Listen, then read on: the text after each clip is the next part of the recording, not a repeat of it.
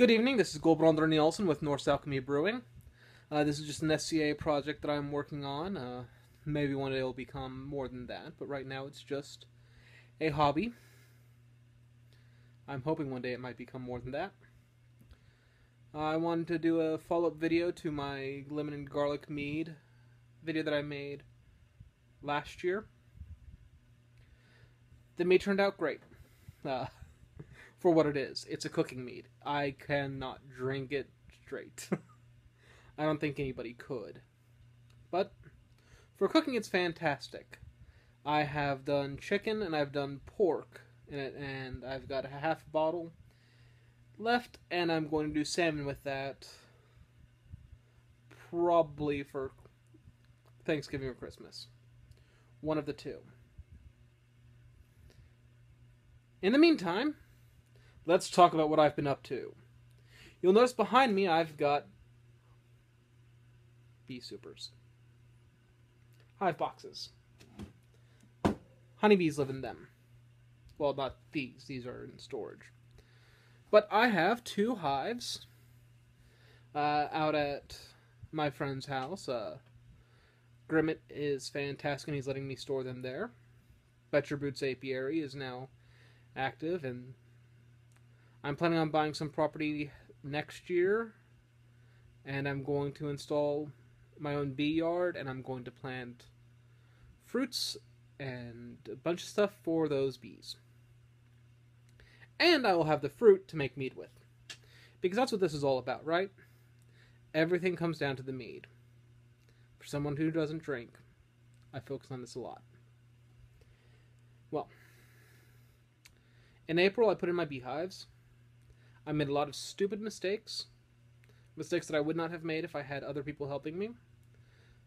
But I am an idiot. And I like to run, run into things and try it on my own. I got five pounds.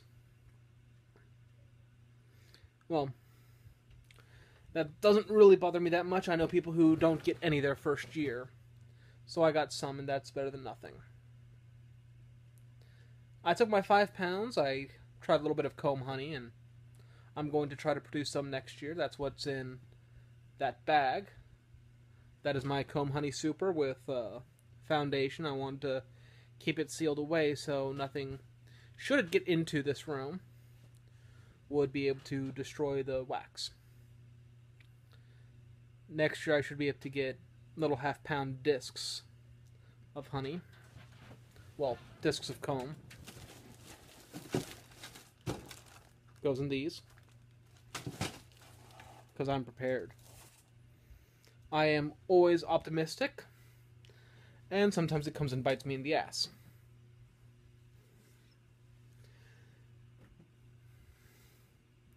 This time it kind of did because I was hoping for more than five pounds of honey. But five pounds of honey, if you do two pound batches, gets you a nice medium mead. Two one pound batches. Two and a half pounds of honey in each batch. That would be 12.5 pounds of honey in a five gallon batch. So, seemed like a good place to start. And I have my two meads that are using my honey.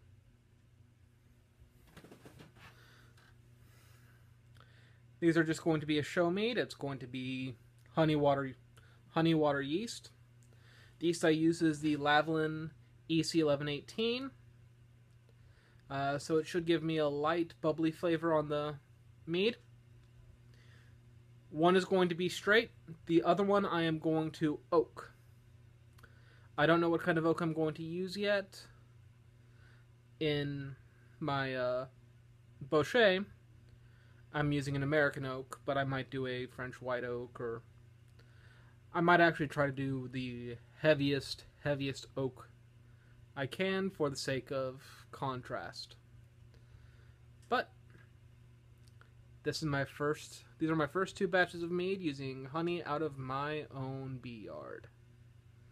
This is a great time to be alive, a great time for Norse Alchemy Brewer Brewery, and hey, who knows? I'm learning. I am learning a lot. I'm learning about beekeeping. I'm learning about extracting honey. I bought my own extractors for my five pounds of honey. Next year, I'm probably going to get two more hives out at the very least. Uh, so, four hives. I'm actually very happy with the way things are going. Which is very strange to hear myself say. I'm happy. it's always great to get a new project started. It's always great to have something to look forward to.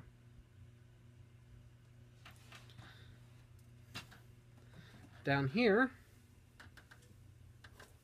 this is my bochet. And I've still got the oak spirals in it.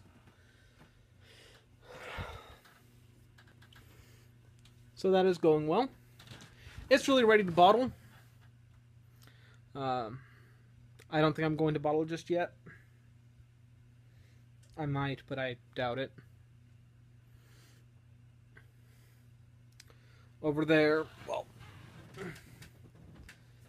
I started. I got one. I grabbed one bottle of this because I had to share it with someone. I owed them a bottle. But that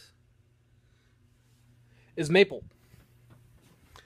I took three pounds of honey, three pounds of maple, pure organic maple, and I made a dessert mead. It dissolves teeth. It is almost as bad as a De Mortis flower. Uh, the De Mortis flower was 18 pounds of honey, 10 pounds of cherries, and a cup of lime juice. That was my first melomel. It's possible that I go over the edge sometimes.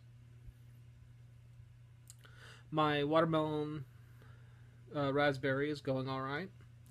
The raspberry is pulling back at the end, which is good because that was a little too tart, tart on a finish. But that is pretty much where things stand. Except, I've got one more thing to show you. And I'm going to be very careful because this is my bedroom, not just my storage facility. Um, yeah.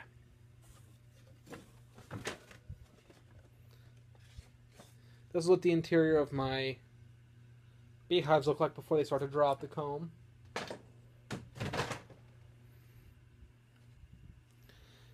It's foundation and frames. But I mentioned the mortise flower. My very first melomel. I got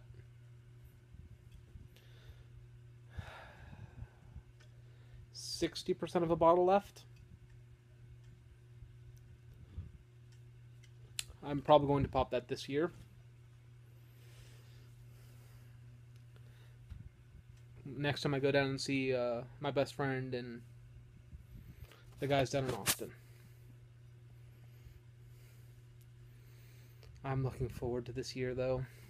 This coming up year, I'm going to enter only my show mead with my honey. It's going to be great. Thank you all. Thank you. Good night.